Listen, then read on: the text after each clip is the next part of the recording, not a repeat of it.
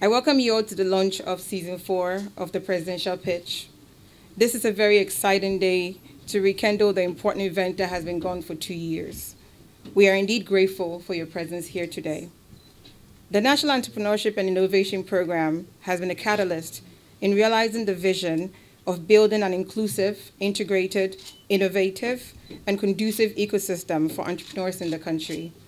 Through the leadership of His Excellency Nana Dankwa Akufo-Addo, policies and initiatives that cater to the needs of entrepreneurs all over the country have been put in place one of which is the NEIP, whose primary objective is to provide training, business development services, capacity building, funding, and access to market linkages to all our beneficiaries to help them grow and become successful. NEIP has become a solution to the national unemployment menace and a special purpose vehicle designed by His Excellency the President to lead the charge in creating jobs. The government is in the process of building an entrepreneurial state as part of the Ghana, as part of the Ghana Beyond Aid blueprint. We move, this, we move closer to this vision by making it necessary to focus on entrepreneurship and innovation, as this is the direction the whole world is moving towards. Our country is facing enormous challenges, and there is a need to encourage our youth to be job creators and not job seekers. As a special purpose vehicle for job creation, our response to help this youth unemployment menace lies in innovative competitions such as the presidential pitch. So the presidential pitch is a deliberate, systematic, and integrated policy initiative by the National Entrepreneurship and Innovation Program to boost the entrepreneurial ecosystem in the country. The business competition is a revolutionary in the history of Ghana for young entrepreneurs and serves as an incubating platform for existing businesses and capital from government. The presidential pitch seeks to turn creative businesses by our youth into global business giants with the support of government. So I know a lot of you have already heard about the presidential pitch. We launched in 2018. We went on to do 2019, and we also did 2020. So that was three seasons. We have given grants to most of our presidential pitch winners. They were not loans. Initially, we said they were loans just we would get them to perform but they are grants. This particular, um, this past three seasons, we're able to receive about 4,000 applications from various areas and various sectors. And out of the 60 persons we supported, they have created 460 direct jobs. And many more indirect ones. I think we've heard from four of our past winners. We're very excited. We wish we can bring all of them to you, but at least it's the four. The finale will bring more of it, and the documentary also coming your way. And there's one more person I would like to talk about. I think a lot of you like eating pizza, don't you? Pizza Man, Chicken Man.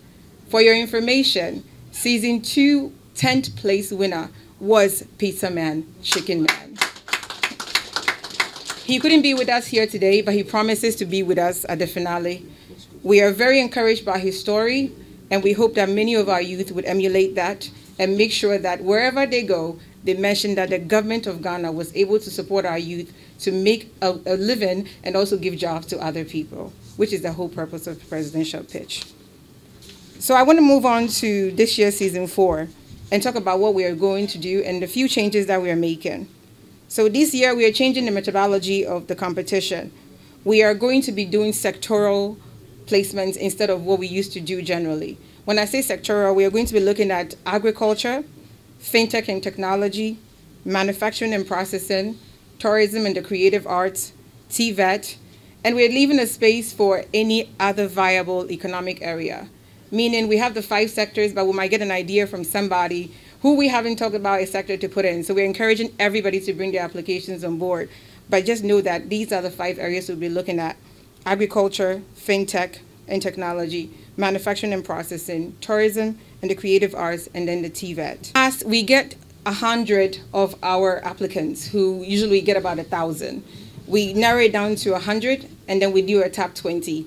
The top 20 would then be invited to Accra to come and pitch before a first panel of judges, a second panel of judges, and then the finale.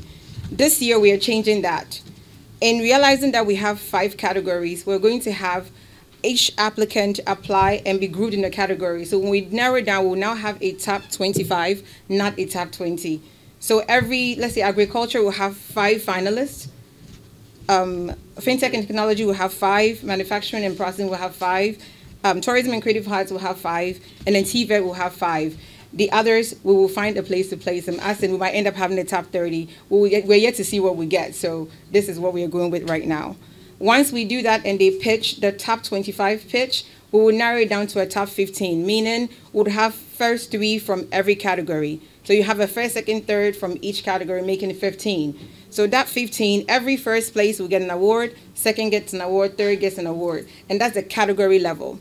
So once we get the 15 now, we move on to the main competition, which is the top 15 pitching for a place in the top three. I hope I'm not losing you. So when you get your money, let's say you get 100,000 in the category, you are actually able to also get another 100,000 at the finale itself. So this is what we are doing now as NEIP. So you might end up having 200,000 instead of the 100,000 we're giving you. So we are encouraging everyone to apply, meaning uh, the monies will be coming. We're not going to tell you the amount yet. I know media, you're eager to write what we're going to give. Please wait. Let me move on. So the award packages for this year's competition have also been increased. Government is earmarking 2.5 million Ghana cedis for this year's top 25. So that's the whole number. So when you log on to our website to complete an application, we'll ask you to submit a very simple business plan. Aisha, you know what a business plan is.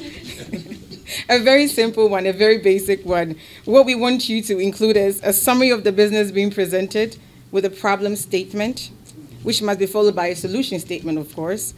We want you to show us the market viability of that business concept, show us the sales traction or financial summary if there's any, the job creation potential of the business, the scalability potential of the business, the system, sustainability potential of the business, and the impact the business will have on society.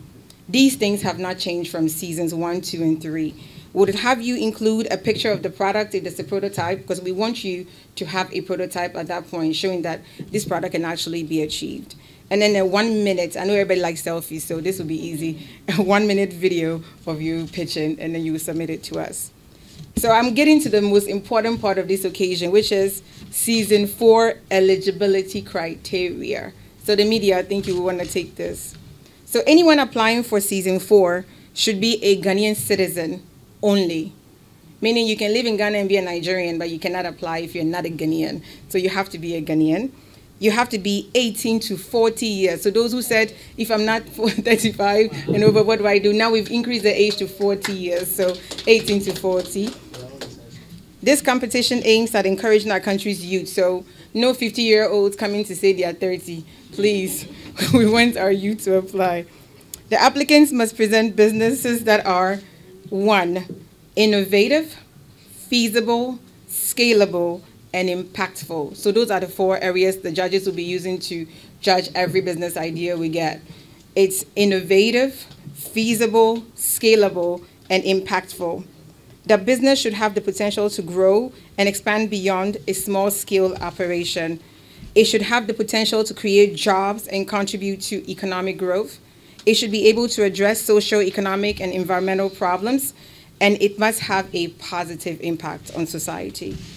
Finally, the businesses submitted must be the original work of the applicant. We don't want any duplication. Please do not take anybody's business and turn it as yours. We want to protect intellectual properties of others, so please take note. All applicants must adhere to the submission guidelines as outlined. The CEO of NEIP, myself, directors of NEIP, the whole staff of NEIP, we now deem season four of the presidential pitch duly launched.